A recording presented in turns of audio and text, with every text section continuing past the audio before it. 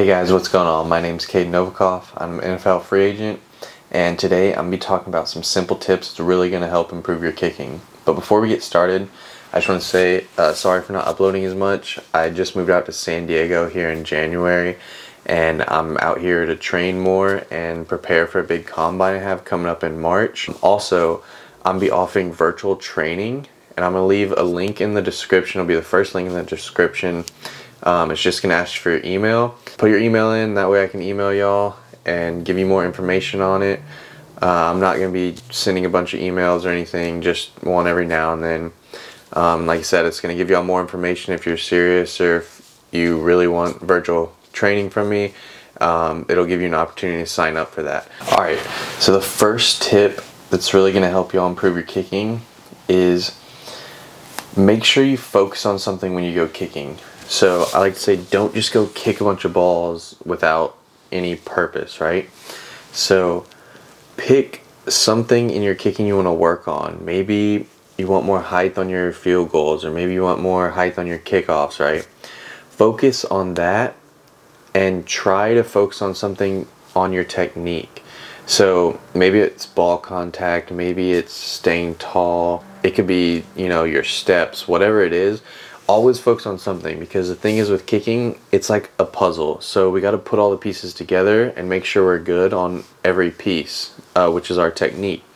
So some some things you may have to work on for longer too. You might have to focus on one thing for a week a month maybe a couple months a year. But when you focus on one thing one it's you you're working on something and you're improving something right? Versus where if you just go out and kick you're just going out and kicking and you're not really focusing on anything. You're just trying to make kicks, which is good sometimes, but most of the time we want to work on something. So pick something in your technique, go out and work on it. Like I said, kicking is like a, a puzzle. So we got to make sure every piece is good and fitting in the right place. So um, like I said, if your steps are off, maybe spend a week on your steps and then focus on something else when you feel like they've improved.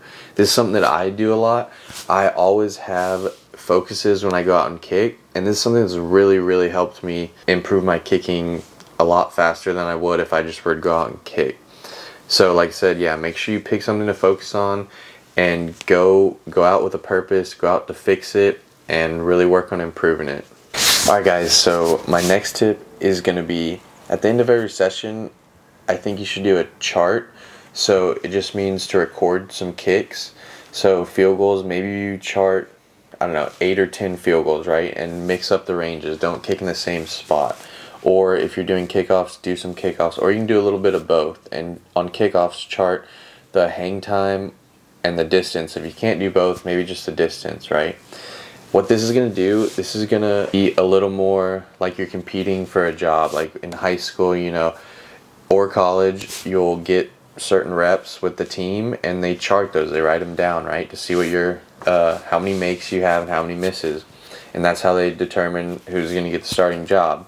So putting yourself through this every time you go kick it's really going to get you comfortable in that situation.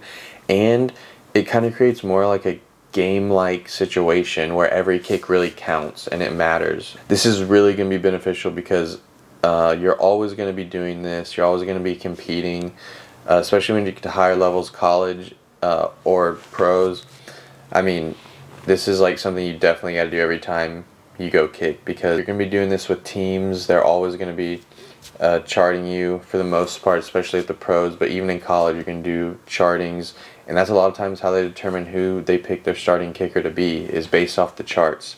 Like when I was at Houston, they based it off um, all of fall camp, so they charted us almost every day and then whoever had the higher percentage in the charts throughout the whole time, that's who got the starting job, and it was me. So um, definitely, I would say just get comfortable with this. Do it a lot. Again, it it's kind of puts you in a game-like situation. So make sure you make each kick count. Again, don't just go kick them. Just you know, focus. Take your time, and you might even throw in like some game winners. So set a ball up and go over the sideline and then give yourself 10 seconds to run out and kick it. But I definitely think charting every session is good. This is also going to help you record your progress. So, you know, I think it's really smart to set goals and say maybe you keep going, I don't know, five, six for 10 on field goals. Well, set a goal by, you know, next month by the end, I'm going to go eight for 10 or something. So again, this will keep track of your progress as well. It can also help you identify where you're struggling. So if you have a certain range that you keep missing those field goals, well, maybe you need to go spend a day or two hitting a lot from that range. All right, guys, my last tip is going to be kind of, I don't, I don't really have like a one word for it, but it's going to be remember the feeling of that day or that session or that kick, right? So if you go out and you're having a really good day, kicking really well, try to remember that feeling with your body because it's kicking is muscle memory. So if you can realize what you were doing, or maybe what you were doing differently, something felt better. I don't know. Maybe you just slept better the night before and you had more uh, rest. But try and remember the feeling with your body. If you're having a really good day, remember what you're doing and what it feels like, and also record that and record some really good kicks and keep them in your camera roll. So that you can go back and look at those maybe when you're not having such a good day. Like right now, I'm looking at good kicks every day at least once or twice a day. And that way I get the visual of what I want to see and feel when I kick the ball. So again, try and remember what you're doing. And then on bad days, you can try and feel, okay, what am I doing that's different from a good day? Also, I keep notes in my phone of good kicking focus. So I do it for uh, field goals and then kickoffs, and I have a couple points, and I look at that every day. And I also add to that, or I take some things off depending on how it felt. And I really try and look at this, you know, like I said, twice a day. And I watch the film, and this is gonna help you get better because if you're watching it, your mind is seeing what what you want to do, right? And so it's going to program in your mind like, all right, that's what I want to look like. That's what I want to do. And then if you keep reminding yourself of it by looking at it in your phone and going over it, then you're like, all right, I need this. Or maybe you, you can also keep like notes of what you need to work on on your phone. So say, well, today wasn't that good. I need to work on these things. And it just kind of helps keep track of what is is working and what's helping you yeah, I really think uh, it's something you should do. You know, watch film of your good kicks. Remember the feeling on good days. Maybe try and feel what you did different on a bad day compared to a good day. And keep notes in your phone. Uh, I try and remember everything, but you know, if you're not thinking about it all the time, you might forget. And also, when you've been kicking for a while, um, I know it's happened a lot of times with me.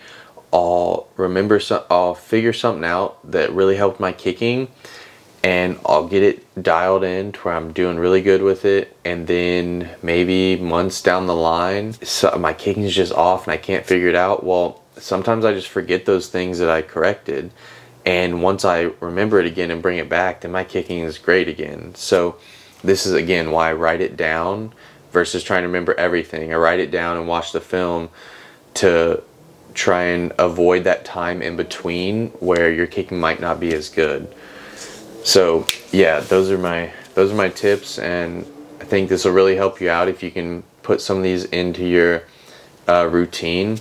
And I really think it's gonna progress your kicking a lot faster than if you just go out and kick and not really pay attention.